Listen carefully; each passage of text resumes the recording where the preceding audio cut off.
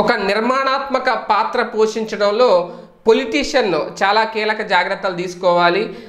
అంటే ప్రతిపక్షంలో ఉన్న రాజకీయ నాయకుడు ఎవరైనా సరే అధికార పక్షం మీద కొన్ని ఆరోపణలు చేయాలన్నా విమర్శలు చేయాలన్నా ప్రశ్నించాలన్నా ఆయన వాగ్దాటికి అధికార పార్టీ భయపడాలి. ఇవన్నీ ఒకప్పుడు మాటలు. కానీ ఇప్పుడు ఏంటంటే అధికార పార్టీ మీద ఒక పంచ్ వేస్తే ఆయన ఒక అద్భుతమైన రాజకీయ నాయకుడు. అధికార పార్టీ మీద పంచుల మీద పంచులు లేదంటే ట్వీట్ల ద్వారా పంచులు వేస్తే ఆయన ఒక అద్భుతమైన లీడరు. ఇది ఇప్పుడు రాజకీయం. పూర్తిగా ట్రెండ్ మారిపోయింది అనుకోవాలా లేదంటే ట్రెండ్ సెట్ చేస్తున్నారు అనుకోవాలా ఈ డైలాగులు ఎక్కువగా జనసేన అధినేత పవన్ కళ్యాణ్ గారికి సంబంధించి వాడితేనే అద్భుతంగా ఉంటుంది కాబట్టి తాజాగా ఆయన చేసిన వ్యాఖ్యలు ఇప్పుడు ఈ స్టైరీన్ ఏదైతే ఉందో ఒక విషవాయువు ఆ ఎల్జీ పాలిమర్ గ్యాస్ గ్యాస్కి సంబంధించి లీక్ అయ్యి దానివల్ల ఎంతోమంది ప్రాణాలు కోల్పోయిన నేపథ్యంలో ఈ స్టైరీన్ విషవాయువుతో కూడా సహజీవనం చేయాలా అంటూ ఒక పని చేశారు ఆంధ్రప్రదేశ్ ప్రభుత్వానికి. ఎందుకంటే ఈ కరోనాతో సావాసం చేయక తప్పదు అని ఎప్పుడైతే జగన్మోహన్ రెడ్డి గారు అన్నారో అయితే ఇప్పుడు ఈ విషవాయువుతో కూడా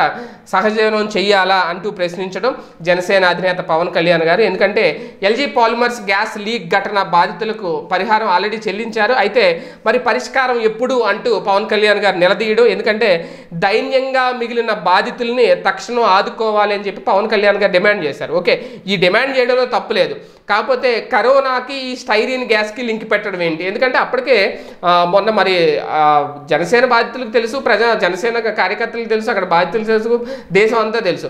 ఆ స్టైరిన్ గ్యాస్ని ఇమీడియట్గా అక్కడి నుంచి తరలించేయాలి అక్కడ ఉండడానికి వీలు లేదని చెప్పి ఆంధ్రప్రదేశ్ ప్రభుత్వం ఆదేశాలు జారీ చేసింది.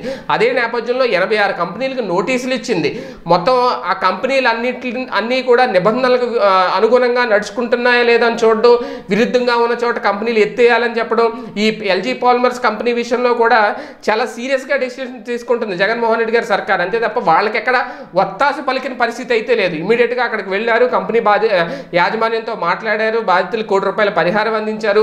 తర్వాత చికిత్స పొందుతున్న వాళ్ళకి కూడా అక్కడ ప పదివేల రూపాయలు ఇస్తే వాళ్ళకి కాదంటే ఇమీడియట్గా దానికి లక్ష రూపాయల పరిహారం ఇవ్వాలని చెప్పి ప్రకటించారు. ఆ చెక్కులు కూడా మంత్రులు అందజేయడం జరిగింది. అంటే ఎక్కడ గ్యాప్ లేకుండా అన్ని చర్యలు తీసుకుంటా ఉంటే ఇంకా సహజనం చేయాలా అనే ప్రశ్న ఎందుకు వచ్చింది అనేది ఇప్పుడు వైసీపీ శ్రేణులు ప్రధానంగా చేస్తున్నమాట. ఎందుకంటే ఆ స్టైరీన్తో అనే విషవాయువుతో క- చేయాలి అని చెప్పి ఎవరు ఏ రాజకీయ నాయకుడు ఏ ప్రభుత్వం చెప్పదు. అలాగని చెప్పి ఇప్పుడు అక్కడ ఆ స్టైరీన్ అనేది అక్కడ లేదు. దాన్ని ఇమీడియట్గా తరలించారు. ఓకే అప్పుడు జరిగిన ఆ ప్రభావం ఏదైతే ఉందో ఆ, ఆ టైంలో ఇమీడియట్గా ఐదు కిలోమీటర్ల ప్రాంతంలో ఉన్న వాళ్ళందరినీ అక్కడ కూడా తరలించేందుకు అధికారులు ఏర్పాటు చేశారు. సాక్షాత్ డీజీపీ అక్కడికి వెళ్ళి వాళ్ళందరినీ వాళ్ళందరితో మాట్లాడడం జరిగింది. అక్కడ మృతదేహాలతో ఆ కంపెనీ ముందు జరిగిన రచ్చ ఏదైతే ఉందో ఆ టైంలో ఆ గందరగోళాన్ని కూడా అరికట్టడంలో అక్కడ ఒక కీలక నిర్ణయం తీసుకున్నారు. అయితే ఇక్కడ ఇప్పుడు ఆ విషయం మీద పవన్ కళ్యాణ్ గారి వ్యాఖ్యలు చేయడం ఇదే కొంచెం హాస్యాస్పదంగా ఉంది.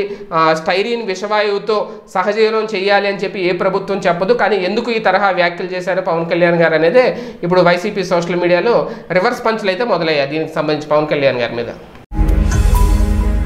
ఈ వీడియో గనుక మీకు నచ్చినట్లయితే లైక్ చేయండి షేర్ చేయండి. మరిన్ని వీడియోస్ కోసం మా ఛానల్ను సబ్స్క్రైబ్ చేయండి.